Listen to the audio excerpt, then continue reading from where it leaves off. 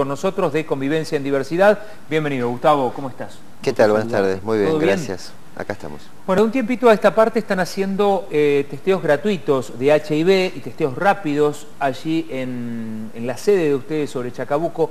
Contanos de qué se trata, quiénes pueden acceder. Bueno, el Centro de Testeo Rápido eh, de VIH de AHF CERTANDIL las siglas, te aclaro un poquito antes. Sí, por favor. Eh, bueno, VIH sabemos que es este, el video de inmunodeficiencia humana. Y eh, cuando decimos de AHF, la fundación más grande del mundo eh, es la Fundación AHF. es una organización que está en cuatro continentes, en 40 países. articula muchísimo con Naciones Unidas, con muchos gobiernos y fuimos eh, el año pasado elegidos por ellos para eh, articular y asociarnos en llevar adelante este, este, centro de testeo rápido. ¿Qué significó eso? Bajar a Tandil, eh, todo el sistema de, testeo de VIH-Sida, decimos VIH-Sida como para que se entienda, en realidad lo que se detecta es el VIH,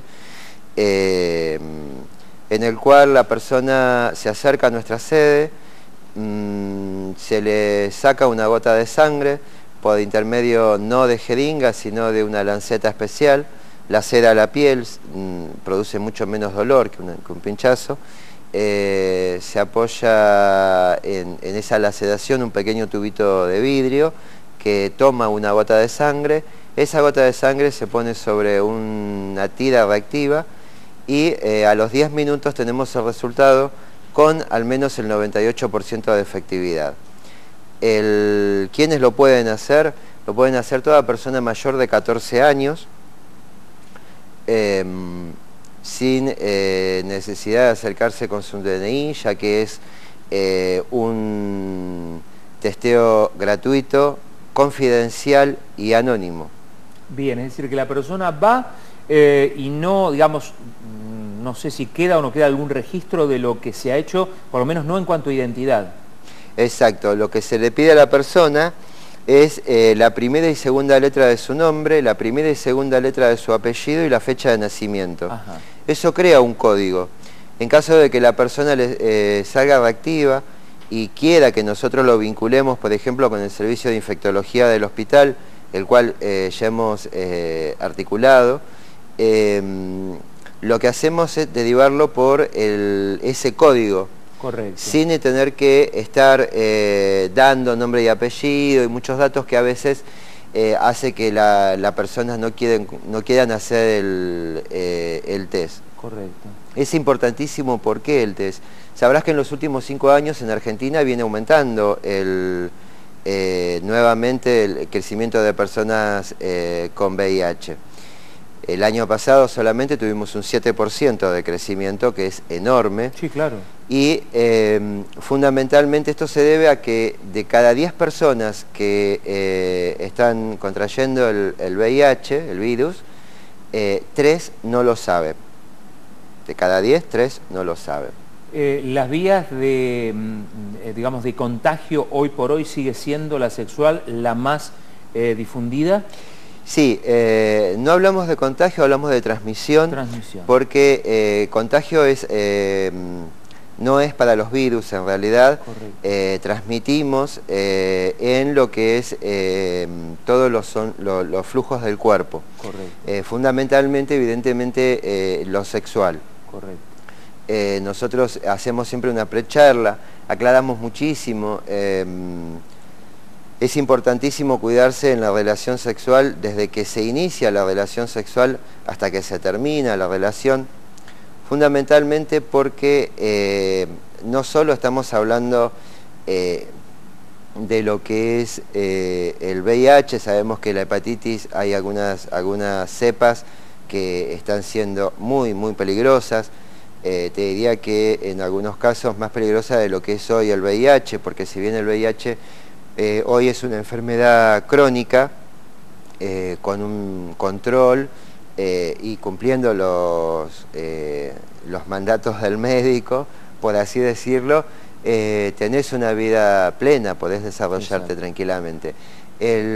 hay cepas de hepatitis que desde el momento que se detecta hasta que la defunción de la persona eh, ha ocurrido en menos de seis meses en algunos casos. han sido, hay casos fulminantes efectivamente por la afección del hígado concretamente. Bueno, contanos un poquito cómo está funcionando la, la, casa de contención en la cual ustedes vienen trabajando hace, hace unos cuantos meses, se va a cumplir dentro de poquito un año. Claro, oficialmente el primero de junio se cumple un año, estamos trabajando igual desde eh, agosto del año 2016, o sea, en realidad ya llevamos un poquito más de, año.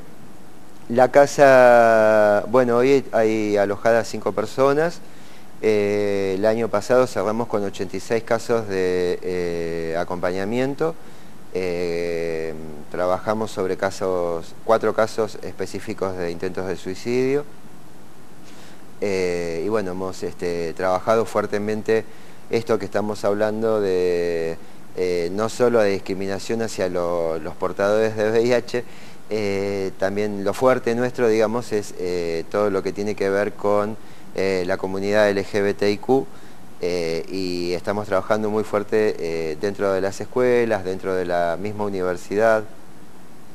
la idea es este, bajar los, los niveles de violencia hacia las personas de orientación sexual distinta a, a la heteronorma. Que sigue siendo un problema, lo veíamos el otro día, eh, no solo en las redes sociales, sino que algunos medios habían levantado la información de una agresión a, un chico que, eh, tiene, digamos que es gay y que había sido víctima de, de violencia. Y después nos enterábamos ah, desde el municipio que digamos, no era, no era una cosa que deshabitual, es algo que lamentablemente ocurre y por ahí más de lo que a veces nos enteramos, ¿no, Gustavo? Exacto. Eh, muchas veces me preguntan, bueno, ustedes tienen el Día del Orgullo Gay, nosotros no tenemos el Día del Orgullo Heterosexual.